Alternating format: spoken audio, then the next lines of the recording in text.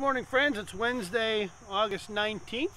Pastor Kathy and I, I'm Pastor Jim, we're co-pastors at Christ Covenant Church here in Harleysville.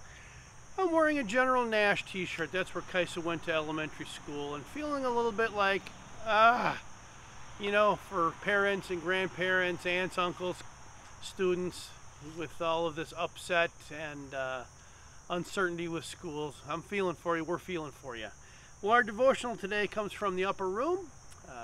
Just as a reminder, there are new upper rooms and our daily breads in the little mailbox right on the porch at the parsonage. So please feel free to come by and grab those someday.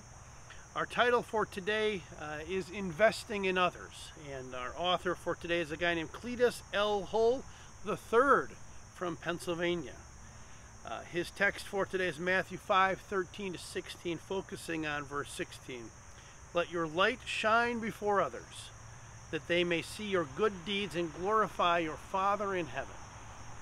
He writes this In my earliest ministry with youth at a small church, I had to start from scratch with no resources.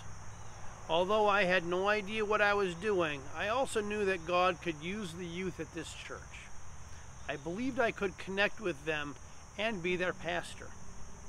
One day, God opened up my opportunities when I was invited to join a group of neighborhood boys who were playing football. Reluctantly, I decided to play, but only because I knew that I needed to take part in their lives if they were ever going to consider anything I had to say. Early on, the ball rolled right to me. I picked it up and started running. After colliding with one of the boys, I stumbled into the makeshift end zone. Almost immediately, all these boys became part of the youth ministry at the church.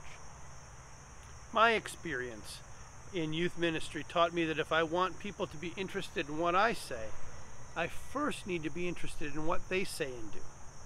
I've applied this principle in all my ministry. The good news of Jesus spreads first by embracing the lives of others. This is what I believe the incarnation of Jesus is truly about. He has a prayer here, and we're going to address that prayer in just a minute, but I'm going to add a couple prayer notes as well in there. Uh, one is for a little boy, a six year old boy named Walker, who is a relative of Mim and Don Dillmore. He's faced some and is facing some serious, serious uh, health issues right now. And the other one is a note of sadness and a note of joy as well. Our beloved Jean Roberts uh, passed away on Monday morning, and while we are grief stricken uh, because she is no longer here with us, we are filled with joy because she has uh, received the hope and the promise of our faith, eternal life in heaven. And so, Archie, her husband, who died 40 years ago, Jean is uh, there in heaven now as well.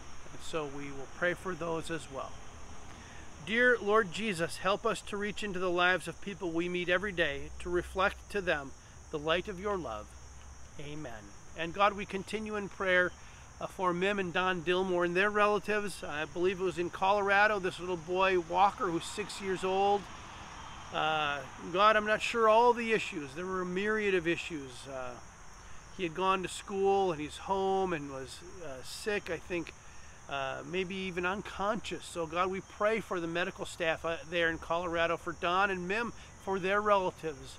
Uh, we thank you for Mim and Don and their faithful prayers for their and their love for this little great nephew, I think, of theirs. And so we pray for, for that whole family, Walker's whole family.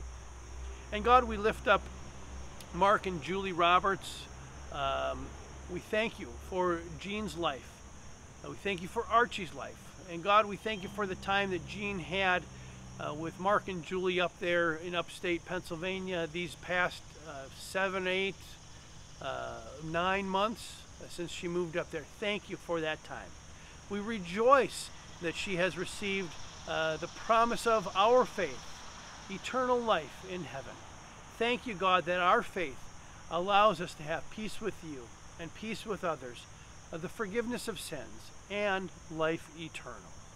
So, God, for those that mourn, we pray for comfort and we rejoice again, knowing that Jean has received the promise of her faith, life eternal in heaven. We give you thanks, God. There are a number of other things we can pray for today, but We, we specifically list these two things to you today. We pray in Jesus' name. Amen. Just a couple notes as well. We've got uh, leadership team tonight. Pray for us. We've also got uh, all kinds of things coming up over the weekend Sunday school, worship.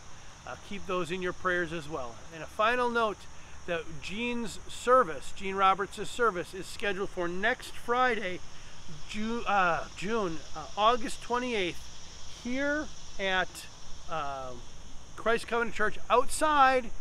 Uh, visitation of some sort at 10 o'clock, service at 11 o'clock. We don't have all of those details yet, but that's the plan right now, June 28th. And as things unfold, we'll let you know. Of course, there'd be proper and correct social distancing and all that kind of stuff.